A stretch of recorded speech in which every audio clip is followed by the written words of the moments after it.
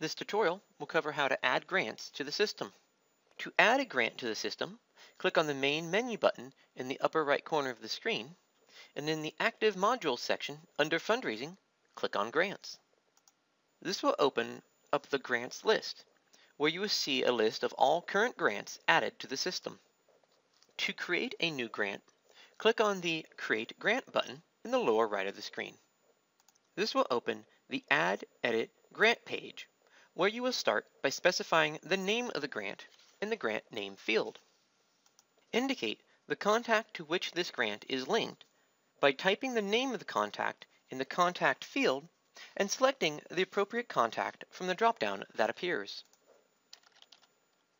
Next, specify the budget and requested amounts for this grant in the budget amount and requested amount fields respectively. In the Submission Date field, enter the date the grant was submitted and the date it is due in the Deadline Date field. If you have any documents, such as an application form, that you wish to attach to this grant, do so by dragging them into the Documents section. When you have finished configuring the grant, click on the Save button in the lower right. If you wish to attach an interaction or task to this grant, click on the Add Interaction Task button in the lower right. Please see the tutorial on adding interactions and tasks for more on working with interactions and tasks. When you wish to return to the grant list, click on the Back button in the lower left.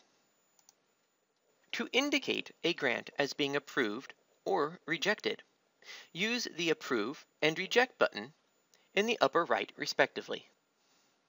When a grant has been approved, you'll be asked to provide the date of the grant's approval and to indicate if the grant represents a multi-year grant.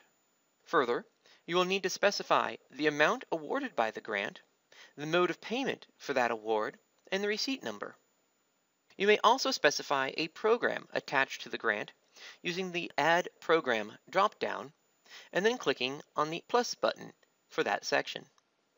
If applicable, use the Vendor, Some Vendor, and Subcontractor section to pick any such contacts from your system and then click the plus button. To complete the approval process, click on Approve in the lower right-hand corner and use the X button in the upper right to close the grant approval screen.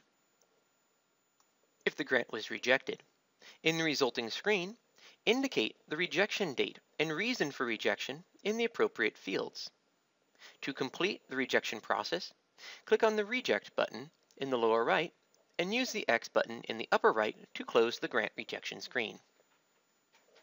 To edit a grant, click on the Edit button to the right of that grant, and you will be taken to the grant configuration screen.